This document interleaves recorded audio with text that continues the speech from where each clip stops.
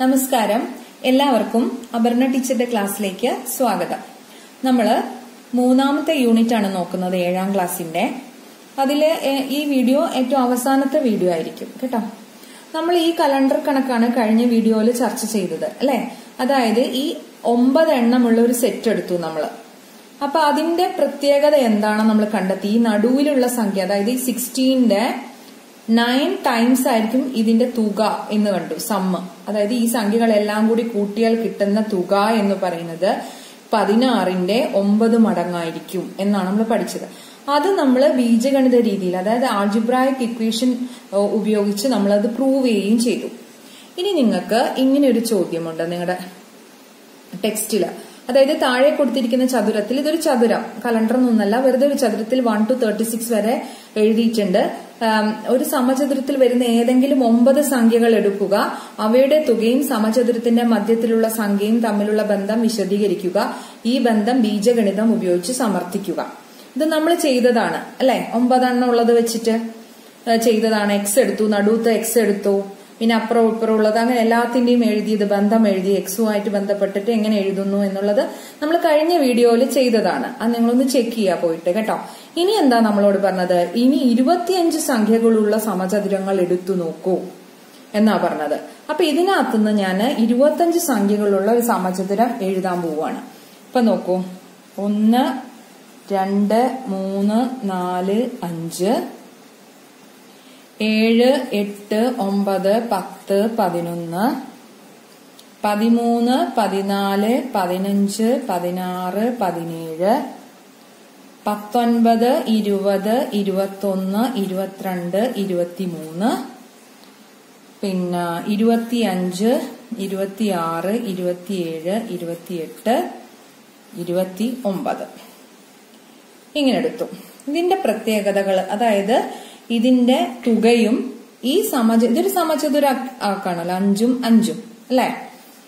അഞ്ച് റോസും ഉണ്ട് അഞ്ച് കോളംസ് ഉണ്ട് അപ്പൊ ഇതൊരു സമചതുര രൂപത്തിലുള്ളതാണ് ഇതിന്റെ നടുവിലുള്ള സംഖ്യ എന്ന് പറയുമ്പോൾ ഏതാ സംഖ്യ വരിക ഫിഫ്റ്റീൻ ആണ് വരിക ഫിഫ്റ്റീനും ഇതിന്റെ തുകയും തമ്മിൽ എന്തെങ്കിലും ബന്ധമുണ്ടോ എന്ന് നോക്കാനാണ് പറഞ്ഞത്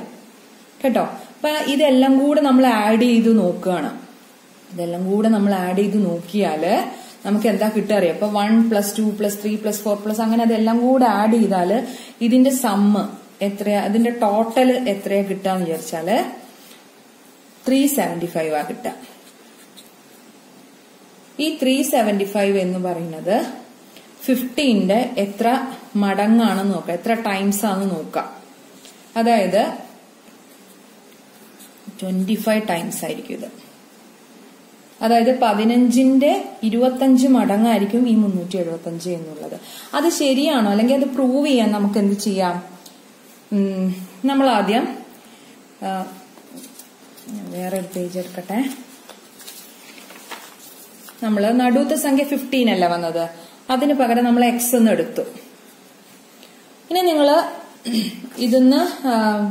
ബാക്കിയുള്ള സംഖ്യകൾ എങ്ങനെ എഴുതും എന്നുള്ളതാണ് അപ്പൊ ഒന്നിന് നമ്മൾ എഴുതും എക്സ് മൈനസ് ഫോർട്ടീൻ അല്ലെ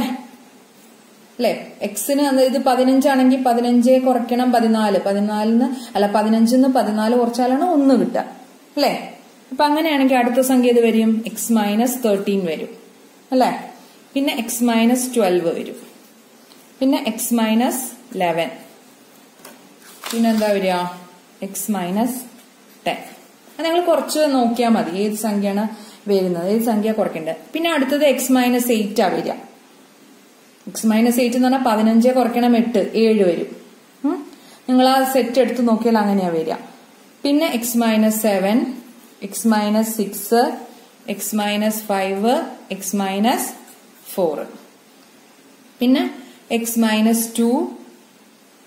പിന്നെ എക്സ് മൈനസ് വണ്ണ്